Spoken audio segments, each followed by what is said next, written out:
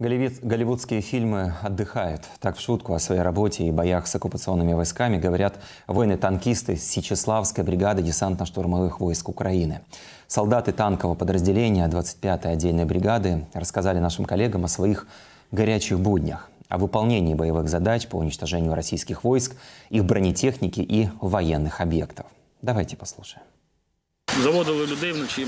Заводили людей ночью. Была задача завести людей на одну позицию, забрать оттуда раненых и кто там стоял, заменить. Якщо перший екіпаж нормально завів, всіх Если первый экипаж нормально завел, спокойно, то наш экипаж зашел с фейерверками и концертами. перших е, Первую группу из шести человек уничтожили из пулемета. Говорят, тут по селу гоняют два танка. танка. Началась охота за ними.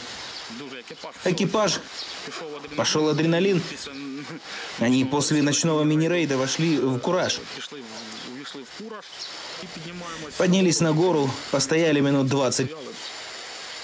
І тут приціл просто И тут в прицел выезжает БМП.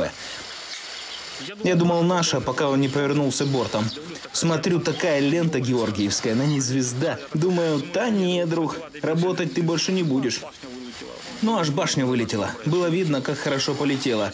Постоянно мы их кошмарили. Они не могли понять, они только на одно место навелись, мы уже с другой стороны.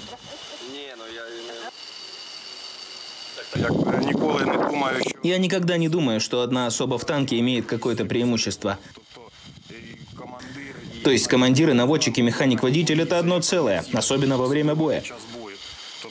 час бою. Тобто То есть надо понимать, как действовать. Не ездить по одной линии во время обстрела. під час обстрілу там не виїжджати. Не выезжать на открытые местности, когда, допустим, чистое поле. Ну, тобто То есть искать какие-то вкладки местности. складки місцевості, Или использовать, ну вот сейчас зеленка буйствует. зеленка буяє.